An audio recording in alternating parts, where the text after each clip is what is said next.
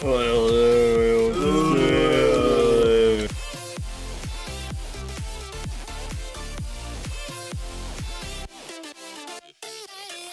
Freunde und herzlich willkommen zum nächsten Video hier auf FC Fabio. Damit meine Freunde zu meinem nächsten FC News Video mit heute drei Punkten, wo ich mit euch drüber sprechen möchte.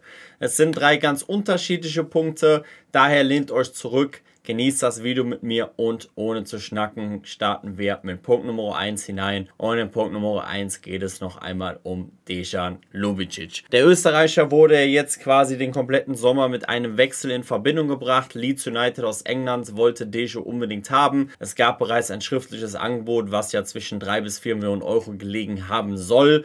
Und jetzt aktuell sieht alles danach aus, dass Lubicic beim ersten FC Köln bleiben wird.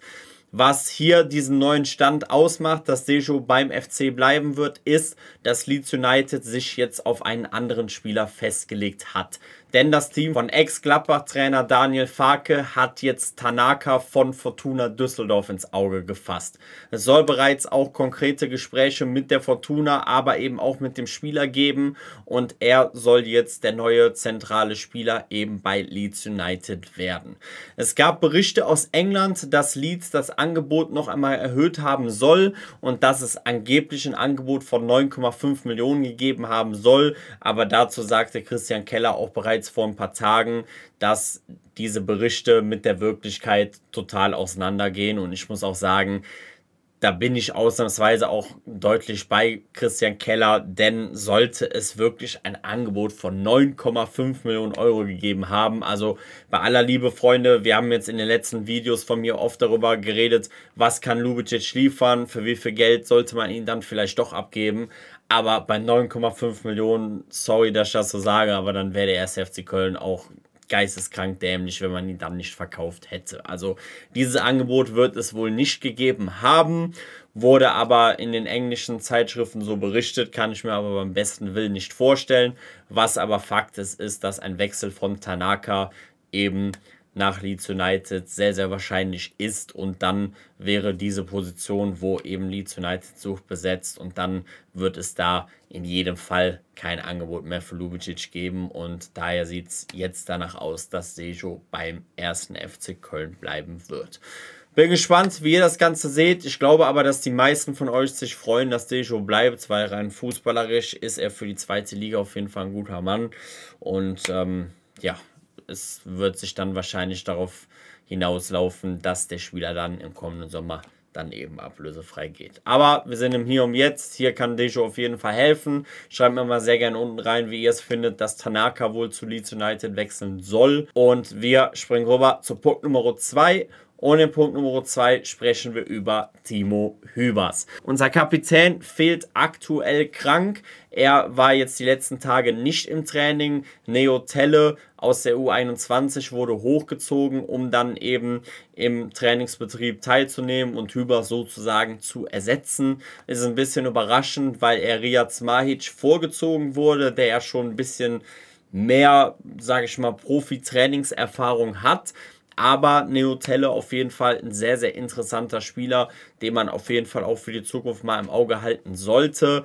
Es ist in jedem Fall so, wenn Timo Hübers, was wir aber natürlich nicht hoffen, ausfallen sollte für unser Spiel am Sonntag auf Schalke, dann wird natürlich voraussichtlich Dominik Heinz in die Innenverteidigung neben Julian Pauli rücken, zum einen. Und zum anderen würde dann Jan Thielmann eben als Kapitän für unseren ersten FC Köln auflaufen, weil ja dann eben Hübers, aber auch, äh, ja, wie gefühlt immer, Marc Uth, ja eben nichts zur Verfügung stehen. Daher wäre Jan Thielmann dann der logische Kandidat. Ich hoffe aber natürlich, dass Timo sich fit meldet am Donnerstag, wenn ihr dieses Video seht seht, ist trainingsfrei. Und dann haben wir ja noch den Freitag und den Samstag. Und da hoffen wir natürlich, dass Timo dann zurück ist. Denn äh, ja, er ist nicht nur Kapitän und Führungsspieler und unser wichtigster Verteidiger. Er ist meiner Meinung nach aktuell auch echt in einer extrem guten Verfassung. Und ähm, ja, auch mit zwei Saisontoren bereits extrem torgefährlich aktuell nach unseren Standards. Deswegen äh, wäre das schon echt bitter, wenn Timo da am Sonntag ausfallen würde. Vor allen Dingen, weil ja jetzt dann auch nach dem Schalke-Spiel dann eben erstmal Länderspielpause ist.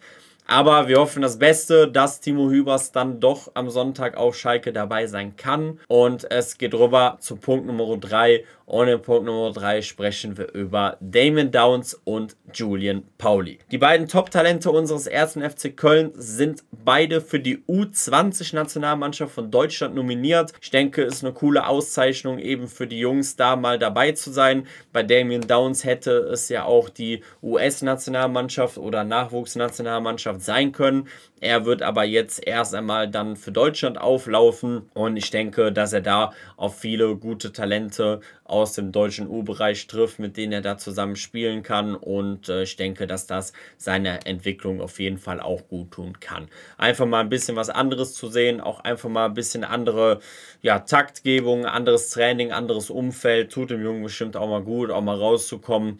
Und ich denke, dass das auch ein Zeichen für die gute Entwicklung von Damien Downs ist, auch wenn er jetzt zuletzt noch kein Tor erzielt hat denke ich aber, dass das noch kommen wird, denn er war jetzt gegen Braunschweig, fand ich zumindest da auf jeden Fall relativ nah dran und hat da auf jeden Fall einige gute Offensivoptionen gehabt und diese werden auch in den nächsten Wochen irgendwann belohnt. Da muss man dem Jungen noch ein bisschen Zeit lassen, aber das ist auf jeden Fall schon mal ein positives Fingerzeig eben für Damien Downs. Das Ganze eben auch für Julian Pauli, denn bei Julian Pauli ist es so, dass er zuletzt in der U16 für eine Nationalmannschaft nominiert war und jetzt mit der U20 er dann endlich mal wieder, sagen wir mal, im U-Bereich ankommt. Und äh, Julian Pauli ist aktuell, würde ich behaupten, bei NFC wahrscheinlich so der Durchstarter, den man gerade vor der Saison vielleicht noch nicht unbedingt so auf dem Zettel hatte, dass er wirklich so einschlägt, wie er es eben bisher getan hat. Daher ähm, auch für den Jungen absolut verdient, meiner Meinung nach. Und ich denke, dass Julian Pauli ähm, beim ersten FC Köln wirklich noch viel erreichen kann, weil ich schon glaube, dass er echt äh, alles mitbringt, um jetzt in naher Zeit weiterhin die feste Größe eben neben Timo Hüber sein zu können. Und äh, der Junge macht einfach Spaß. Was soll ich euch sagen? Also, man hat das Gefühl, er kann mit beiden Füßen hinten gut rausspielen. Er ist selber nach Standards vorne wie er kopfgefährlich und ähm, er bringt ein gutes Tempo mit. Also, ein wirklich richtig geiler Junge wo wir echt äh, noch viel Spaß dran haben werden. Und mit der Reise jetzt zur U20 kann man da auf jeden Fall auch nichts falsch machen. Außer die Jungs kommen natürlich verletzt zurück, aber toi toi toi, das hoffen wir natürlich nicht. Hoffen wir natürlich, dass alle gesund zurückkommen. Der FC wird auf jeden Fall einige Spieler auf Nationalmannschaftsreise haben, wenn dann eben nach dem Schalke-Spiel die Länderspielpause ist. Dennis Hussein Basic beispielsweise wird dann eben für die A-Nationalmannschaft von Bosnien auflaufen. Zudem wird dann wahrscheinlich Tim Lemperle, Jan Thielmann, Erik Marzel und Jonas Urbig für die deutsche U21-Nationalmannschaft dann auflaufen. Matthias Olsen für die A-Nationalmannschaft von Luxemburg. Also wie ihr hört, da sind einige Spieler in jedem Fall beim FC unterwegs. Ich meine, Potoschnik dann eben auch noch für eine Nachwuchstruppe von Slowenien. Also da kommt der ein oder andere Spieler wieder rum. Ist natürlich dann für den alltäglichen Trainingsbetrieb beim FC dann nicht so einfach, aber wird dann wahrscheinlich voraussichtlich wieder dann mit Spielern aus dem U-Bereich dann gedeckt, dass man da so relativ einen normalen Trainingsbetrieb leisten kann und äh, ja, nicht wie und dass Steffen Baumgart da gefühlt ewige Tage frei macht. Der FC hat einige junge, gute Talente. Damien Downs und Julian Pauli da allen voran. Bin mal gespannt, wie sie sich bei der U20 von Deutschland machen werden und auch alle anderen FC-Spiele, die dann auf der Länderspielreise sind. Aber das jetzt erstmal als kleiner Vorgriff. Jetzt geht es natürlich dann am Sonntag erstmal auf Schalke und hoffentlich äh, ja, erfolgreich mit einem guten Ende für unseren FC. Das war der kleine Vorgriff darauf. Das war mein FC News Video. Ich bin sehr gespannt, wie ihr das Ganze seht. Wie bewertet ihr die Nominierungen für Julian Pauli und Damien Downs für Deutschlands U20-Nationalmannschaft? Nationalmannschaft. Wie schwer würde ein Ausfall von Timo Hübers am Sonntag auf Schalke wiegen und würdet ihr Jan Thielmann als Vertretungskapitän da auf jeden Fall sehen? Und was sagt ihr dazu, dass Dejan Lubicic voraussichtlich beim 1. FC Köln bleiben wird und es dafür eben den Düsseldorfer Tanaka dann eben auf die Insel zieht? Ich bin sehr gespannt, wie ihr das Ganze seht. Lasst mir eure Meinungen sehr gerne unten in den Kommentaren da. Und dann würde ich mich neben euren Meinungen wie immer über einen Daumen nach oben freuen, über ein Abo, falls ihr neu seid. Und dann würde ich sagen, sehen wir uns beim nächsten Video. Was auch immer ich mache wieder. Euer Fabius raus. Haut da rein und